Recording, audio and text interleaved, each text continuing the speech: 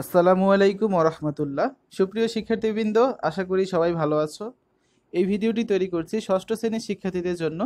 ষষ্ঠ শ্রেণির বাৎসরিক মূল্যায়ন, বিষয় জীবন ও জীবিকা, মূল্যায়নের তারিখ সাতাশ নভেম্বর দুই হাজার তেইশ। প্রথমে তোমার নাম লিখবে, তারপর হচ্ছে তোমার শ্রেণি, শাখা এবং রোল বাইডি নং মূল্যায়নের তৃতীয় দিন, নির্ধারিত কাজ হচ্ছে ভবিষ্যৎ চক্র আঁকি ও সমস্যার সমাধান করি। প্রথমে ক নম্বরে আছে একটি একক কাজ নির্বাচিত পেশা সংশ্লিষ্ট ভবিষ্যৎ প্রযুক্তির প্রভাবে একটি ভবিষ্যৎ চক্র অঙ্কন করো, তিরিশ মিনিট একটি কাজ। মূল্যায়নের দ্বিতীয় দিনে শিক্ষার্থীরা যে পেশা নির্বাচন করেছে, নির্বাচিত সেই পেশা সংশ্লিষ্ট একটি ভবিষ্যৎ প্রযুক্তি নির্দিষ্ট করতে বলুন। প্রযুক্তিটি কাল্পনিক হতে পারে।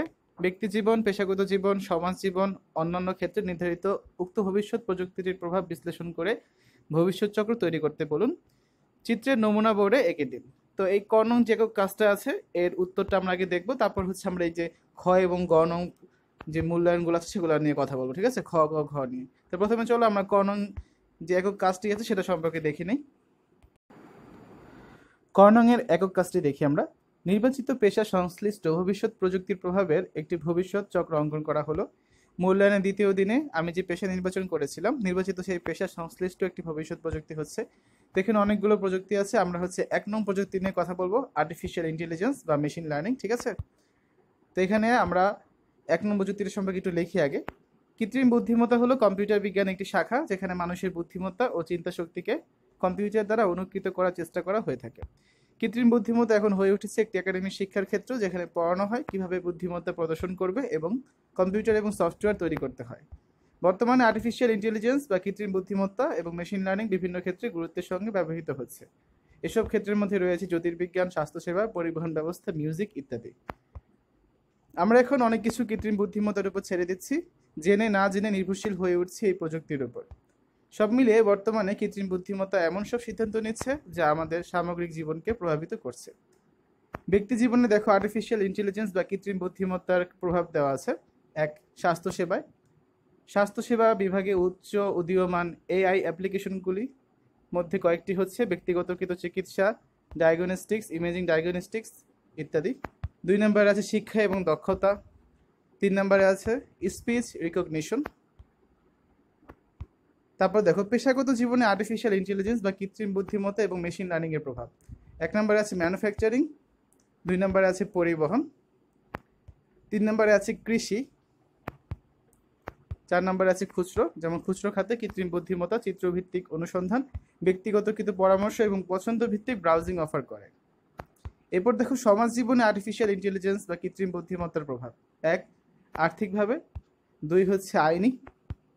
তিন নম্বর হচ্ছে বুদ্ধিমত্তা। এখন দেখো, অন্যান্য ক্ষেত্রে আর্টিফিশিয়াল ইন্টেলিজেন্সের যে প্রভাবগুলো রয়েছে, সেগুলো হচ্ছে স্মার্ট শহর, তারপর রয়েছে শক্তি।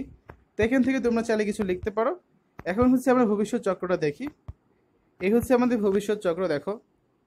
কৃত্রিম বুদ্ধিমত্তা, ঠিক আছে? আমরা হচ্ছে সফটওয়্যার ডেভেলপার নিয়ে কথা বলেছিলাম, আমাদের দ্বিতীয় কর্মদিবসের যে মূল্যায়নটা ছিল সেখানে। তো কৃত্রিম বুদ্ধিমত্তার এটা ভবিষ্যৎ চক্রটা হচ্ছে, দেখো, খরচ কমানো, যেখান থেকে হচ্ছে আমরা মানুষকে উচ্চ দক্ষ কাজের জন্য মুক্ত করবে। তারপর আছে চব্বিশ সাত, অর্থাৎ চব্বিশ ঘণ্টা সাত দিন সপ্তাহে প্রাপ্যতা। যার কারণে ভালো গ্রাহক অভিজ্ঞতা সরবরাহ করবে। নিরপেক্ষ সিদ্ধান্ত গ্রহণ, যেখান থেকে চাকরির আবেদন নির্বাচন করা সহজ হবে, পক্ষপাতের প্রভাব ছাড়াই সিদ্ধান্ত নিতে সক্ষম হবে, পক্ষপাতের সমস্যাগুলো উপেক্ষা করা যাবে। তারপর এখানে আছে আরও দেখো, পুনরাবৃত্তিমূলক কাজ, যার মাধ্যমে মানুষের কাজের একঘেয়েমি থেকে বাঁচাতে পারে এবং সৃজনশীল শক্তির প্রয়োজন, এমন কাজের জন্য শক্তি সঞ্চয় করতে পারে। তো এই হচ্ছে তোমাদের যে ভবিষ্যৎ চক্রটা ছিল সেটা, ঠিক আছে? তা আমরা হচ্ছে ক নং কাজটা দেখলাম। খ নম্বরে ছিল দলগত কাজ বিদ্যালয় ভিত্তিক সমস্যা সমাধান, দুই ঘণ্টার গ নম্বরে যেটা আছে, দেখো, এটা হচ্ছে একটা একক একক কাজ, প্রতিবেদন প্রণয়ন করতে হবে ষাট মিনিটে। সমস্যা সমাধান কার্যক্রম সম্পন্ন হলে দলগত কাজের উপর এককভাবে একটি প্রতিবেদন প্রণয়ন করতে বলুন। প্রতিবেদনে যা যা থাকবে। কী ধরনের সমাধান কার্যক্রম পরিচালনা করেছে? এর মাধ্যমে কে কে সুবিধা প্রাপ্ত হবে? কীভাবে সুবিধা প্রাপ্ত হবে? দলগত কাজে সুনির্দিষ্টভাবে কে কোন দায়িত্ব পালন করেছে এবং কেমন লেগেছে? আর দলগত কাজটি সবল দিক, দুর্বল দিক এবং কীভাবে সেই দুর্বলতা মোকাবেলা করা যেতে পারে এই সংক্রান্ত বিষয়গুলো উল্লেখ করে সংক্ষেপে নিচের অনুভূতি প্রকাশ করা। তো এই জিনিসগুলো তোমাদের লিখতে হবে। চলো আমরা তোমার গণম প্রশ্নের সম্পর্কে আলোচনা করি। দেখো, গ নম্বরে ছিল একক কাজ, প্রতিবেদন প্রণয়ন করতে হবে এবং এই বিষয়গুলো তোমার প্রতিবেদনে থাকতে হবে, ঠিক আছে? প্রতিবেদনের শিরোনাম, আমার মূল্যায়ন কাজের সামগ্রিক অভিজ্ঞতা সম্পর্কে প্রতিফলনমূলক প্রতিবেদন। প্রথমে তোমার নাম লিখবে, তারপর হচ্ছে তারিখ আমার মূল্যায়ন কাজের সামগ্রিক অভিজ্ঞতা। বিদ্যালয় ভিত্তিক সমস্যা বলতে গেলে প্রথমে চলে আসে শ্রেণীকক্ষে সমস্যার কথা। একটি শ্রেণীকক্ষে একজন শিক্ষার্থী নানা ধরনের সমস্যার সম্মুখীন হতে পারে। এই সমস্যাগুলো নিয়ে আলোকপাত করা যাক। প্রথমে চলে আসে শ্রেণীকক্ষের অবকাঠামোগত সমস্যার কথা। অনেক সময় শ্রেণীকক্ষের মেঝে ভেঙে যেতে পারে, দেয়াল ফেটে যেতে পারে, জানালা ভেঙে যেতে পারে, ছাদ ঝরে পড়তে পারে, বাথরুম অপরিচ্ছন্ন থাকতে পারে, আবার অনেক সময় বিভিন্ন ধরনের শিক্ষা উপকরণ এবং সরঞ্জামেরও অভাব পাওয়া যায়। কোনো কোনো শ্রেণীকক্ষে পর্যাপ্ত পরিমাণে chair table bench blackboard white board chalk duster marker light fan এগুলো থাকে না। তাছাড়া শ্রেণীকক্ষের আশেপাশে যদি কোনো সামাজিকগত বা পরিবেশগত সমস্যা থাকে, সেটি অনেক বড় চিন্তার কারণ। আমরা আমাদের শ্রেণীকক্ষে নিম্নোক্ত সমাধান কার্যক্রম পরিচালনা করেছি। এক, আমাদের শ্রেণীকক্ষে জানালার যে কাজগুলো ভাঙা ছিল, সেগুলো পরিবর্তন করে নতুন কাজ লাগিয়েছি। দুই, আমাদের শ্রেণীকক্ষে কয়েকটা লাইট নষ্ট ছিল, ওগুলো পরিবর্তন করে নতুন লাইট লাগিয়েছি। তিন, আমাদের শ্রেণীকক্ষের কয়েকটা বেঞ্চে বসতে সমস্যা ছিল, এজন্য শিক্ষকদের বলে আমরা নতুন বেঞ্চ আনিয়েছি। চার, আমাদের শ্রেণীকক্ষের পাশের বাথরুম সবসময় অপরিচ্ছন্ন থাকতো, এটা আমরা পরিষ্কার করেছি। পাঁচ, আমাদের শ্রেণীকক্ষে ছাদের একটা কোণা থেকে ফুটো দিয়ে পানি পড়তো, সেটা আমরা ঠিক করেছি। ছয়, আমাদের শ্রেণীকক্ষের হোয়াইট বোর্ডটা ভাঙা ছিল, আমরা এটা পরিবর্তন করে নতুন হোয়াইট বোর্ড লাগিয়েছি। আমাদের এই কার্যক্রমগুলোর ফলে সবচেয়ে বেশি উপকৃত হয়েছি আমরা শিক্ষার্থীরাই। শ্রেণীকক্ষ হয়েছে, পড়াশোনার জন্য সবচেয়ে উত্তম জায়গা। এখানে যদি আমরা পর্যাপ্ত সুযোগ সুবিধা না পাই, তাহলে সঠিকভাবে পড়াশোনাটা করা সম্ভব হয়ে ওঠে না। তাই শ্রেণীকক্ষে আমাদের যে সমস্যাগুলো ছিল, সেগুলো সমাধান করার মাধ্যমে আমরা বেশ উপকৃত হয়েছি। আমি যেহেতু দলের লিডার ছিলাম, তাই কোন সমস্যাটি কীভাবে সমাধান করা যায়, এ বিষয়ে একটি পরিকল্পনা করেছিলাম এবং আমার দলের বাকি সদস্যদের সাথে সে ব্যাপারে আলোচনা করে একটি সুনির্দিষ্ট নীতিমালা তৈরি করেছিলাম। সে অনুযায়ী আমরা পরবর্তী পদক্ষেপ নিয়ে আমাদের সমস্যার সমাধানগুলো করেছিলাম। আমাদের দলের প্রত্যেকটি সদস্যই সমানভাবে সবগুলো কাজে সহায়তা করেছে এবং আমরা সকলে মিলেই আমাদের এই সমস্যার সমাধান করতে সক্ষম হয়েছি বলে বিশ্বাস করি। এই ধরনের কার্যক্রমে অংশগ্রহণ করতে পেরে আমি সহ আমার দলের প্রত্যেকটি সদস্যই বেশ উপভোগ করেছি এবং ভবিষ্যতে এই ধরনের কার্যক্রমে অংশগ্রহণ করার জন্য আমরা সর্বদা প্রস্তুত আছি। এই দলগত কাজ করার মাধ্যমে আমাদের মধ্যে বেশ ভালো একটা সম্পর্ক গড়ে উঠেছিল। আমরা একে অপরের সাহায্য সহযোগিতা করার মাধ্যমে আমাদের কাজ সম্পন্ন করেছি। তবে মাঝে মধ্যে একজনের মতামতের সাথে আরেকজনের মতামতের বিরোধ সৃষ্টি হয়েছিল। সবাই মিলে একসাথে কাজ করতে গেলে এমনটা হতেই পারে। কিন্তু সাথে সাথে আমরা সবাই একসাথে বসে আবার আমাদের সমস্যা বা আমাদের মাঝে বিরোধগুলো দূর করে নিয়েছিলাম এবং এভাবে করে আমরা আমাদের শ্রেণীকক্ষে যে সমস্যাগুলো ছিল, সেগুলো সমাধান করতে পেরেছি। আমাদের শ্রেণীকক্ষের পরিবেশ এখন আগের থেকে অনেক সুন্দর হয়েছে। পুরো কার্যক্রমটি আমি বেশ উপভোগ করেছি। সবাই মিলে এক হয়ে একসাথে কাজ না করলে শ্রেণীকক্ষের পরিবেশটা সুন্দর করা সম্ভব হতো না আমাদের পক্ষে। এই হচ্ছে তোমাদের যে প্রতিবেদনটা ছিল সেই সম্পর্কিত সমাধান। তারপর দেখো আমরা কর্ণং একক কাজ দেখলাম। খনং একটা দলগত কাজ ছিল, এটা প্র্যাকটিক্যাল গণঙে ছিল একটা একক কাজ, প্রতিবেদন পরিণন দেখেছি। ঘ নম্বরে কী ছিল দেখো?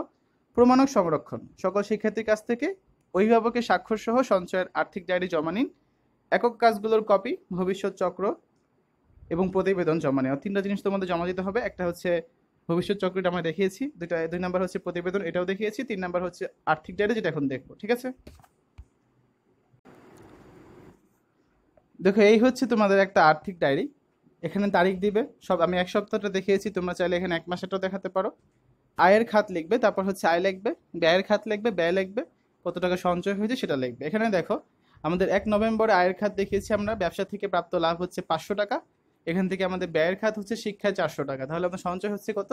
পাঁচশো থেকে চারশো বিয়োগ করো, থাকবে একশো টাকা। সেমভাবে দুই নভেম্বর আমরা দেখিয়েছি যে খণ্ডকালীন কাজ থেকে প্রাপ্ত সম্মানই হচ্ছে চারশো টাকা। এখান থেকে আমাদের খাদ্যে ব্যয় হয়ে গেছে তিনশো পঞ্চাশ টাকা। তাহলে আমাদের সঞ্চয় হয়েছে কত? পঞ্চাশ টাকা। তিন তারিখে অন্যান্য বিনিয়োগ হতে আয় হয়েছে ছয়শো টাকা, বিল পরিশোধ করে চারশো পঞ্চাশ টাকা, সঞ্চয় হয়েছে দেড়শো টাকা। চার তারিখে চাষাবাদ থেকে আয় হয়েছে সাতশো টাকা আমরা পোশাক খাতে ব্যয় করেছি ছয়শো টাকা, আমাদের সঞ্চয় হয়েছে একশো টাকা। অনুরূপভাবে পাঁচ তারিখে সঞ্চয় হয়েছে দুশো টাকা, ছয় তারিখে সঞ্চয় হয়েছে পঞ্চাশ টাকা, সাত তারিখে সঞ্চয় হয়েছে একশো টাকা। এখন দেখো, সপ্তাহ শেষে মোট আমরা যোগ করব। আমাদের মোট আয় হয়েছে তিন হাজার পাঁচশো টাকা, মোট ব্যয় হয়েছে দুই হাজার সাতশো পঞ্চাশ টাকা, আর মোট সঞ্চয় হয়েছে সাতশো পঞ্চাশ টাকা। এরকম একটা আর্থিক বিবরণী করে আর্থিক ডায়েরি তোমাদের শিক্ষকের নিকট জমা দিতে হবে। এবং তোমার অভিভাবকের সাইন সহ অবশ্যই এটা জমা দিতে হবে, ঠিক আছে? এখন আমরা একটু দেখাই তোমাদের যে এই আয়ের খাত এবং ব্যয়ের খাত কোনগুলো, সেই সম্পর্কে একটু আলোচনা করে দিই, এগুলো তোমাদের লিখতে হবে না জাস্ট একটু ধারণা নিয়ে নাও, ঠিক আছে? দেখো, এই জিনিসগুলো কিন্তু তোমাদের অ্যাসাইনমেন্টে লিখতে হবে না, এগুলো হচ্ছে তোমরা জাস্ট একটু, এগুলো একবার দেখে নিলে বুঝতে পারবে যে পারিবারিক আয় বা আয়ের খাত কোনগুলো এবং পারিবারিক ব্যয়ের খাত কোনগুলো। এখানে অনেক ধরনের আয়ের খাত লেখা আছে, যেমন চাকরি থেকে পাওয়া বেতন, খণ্ডকালীন কাজ থেকে প্রাপ্ত সম্মানী, ব্যবসা থেকে প্রাপ্ত লাভ বাড়ি ভাড়া বা দোকান থেকে পাওয়া ভাড়া ব্যাংক থেকে বা শেয়ার বিক্রয় থেকে প্রাপ্ত সুদ বা লাভ, ঠিক আছে? আবার হতে পারে কি? Rickshaw van auto rickshaw CNG এগুলো চালিয়ে উপার্জিত অর্থ, ঠিক আছে? আবার বিভিন্ন ক্ষুদ্র মাঝারি বৃহৎ ব্যবসা থেকে আয় হতে পারে, চাষাবাদ থেকে আয় হতে পারে, তো এগুলো সব হচ্ছে পারিবারিক আয়। এখন যদি আমরা ব্যয়ের খাত নিয়ে কথা বলতে চাই, এখানে বিভিন্ন ধরনের ব্যয়ের খাত আছে, যেমন টাকা, খাদ্য, শিক্ষা, চিকিৎসা, বিনোদন ও খেলা, বাসস্থান, পরিবহন বিল, পরিশোধ, পোশাক, ঠিক আছে?